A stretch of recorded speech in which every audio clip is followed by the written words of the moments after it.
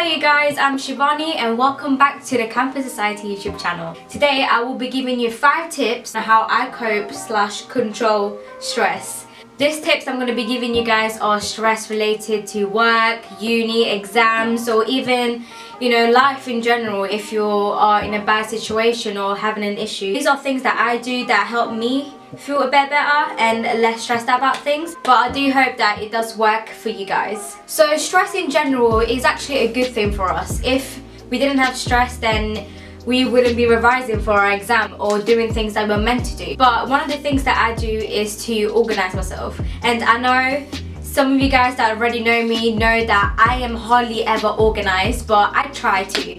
So what I mean by being organised is I try to make a timetable. Say if you're revising for an exam. I remember when I did psychology A level, I was stressing out so much because there were so many topics and I just didn't understand how I was gonna go through all of these topics for my exam. So what I did to help me is I made like a timetable and I divided each topic in smaller section and I set myself a target to make sure that I revise that topic for that day and I did that for every single day if that makes sense. Basically what I'm saying is make sure that you revise one topic at least every single day if not one then two or how many you can do and by doing that taking things step by step actually does help and ease your mind in a way. Tip number two uh, is setting yourself a target. So what I've been doing lately is making a list of things that I need to do by the end of the day so I won't have to leave everything last minute and trust me, take it from me, I leave everything last minute and it just gets me so stressed out and I freak out so much. So for example, just take on my phone and you know just go on notes and I'll make a list of what I need to do in that day. So for example today, things I need to do is to finish my essay, which I did, so tick that. Um, do solo points, which I haven't done yet. And the third thing is to film a video for Campus Society, which I'm doing right now.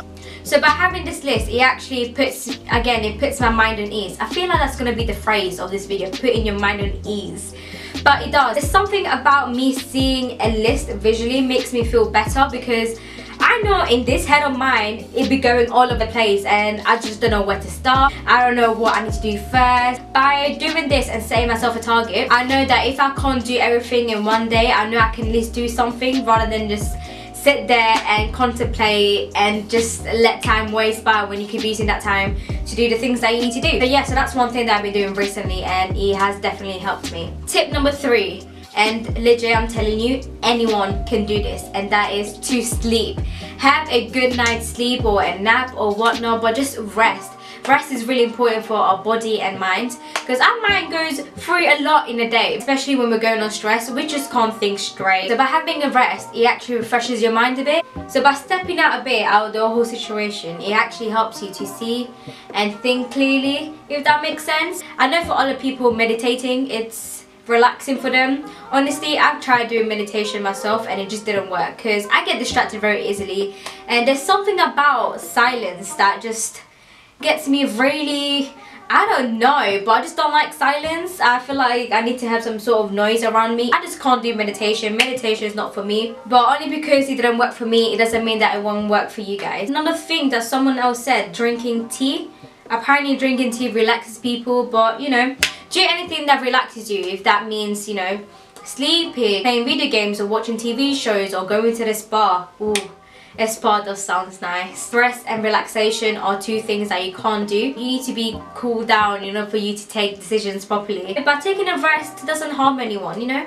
Just take a rest and just relax yourself a little bit. Tip number four, and that is diet. I know all of us have heard it in secondary assembly, you know, when the teacher comes in and tells you, you need to make sure that you're eating before your exam. Trust me, it actually helps because for me personally let's be honest I can eat 24 7 I eat when I'm stressed angry I eat when I'm happy I eat psh, I can eat any time but it's the type of food that you eat that can affect you. I know that it's hard to eat healthy but you need to try and eat healthy. Like it doesn't have to be like a full-on healthy meal but you know just have like a fruit or drink water or try not to eat so much junk food. Something about me eating a lot of junk food that makes me feel a bit sick, a little bit heavy and you start to feel sleepy and you know drowsy and not able to do what you need to do. So yeah, drink and eat healthily. The last tip is to face up reality. At the end of the day, all of us experience negativity, situation where we don't want to be or say if you like struggling with something or have an issue, all of us go through things like this. What I always do is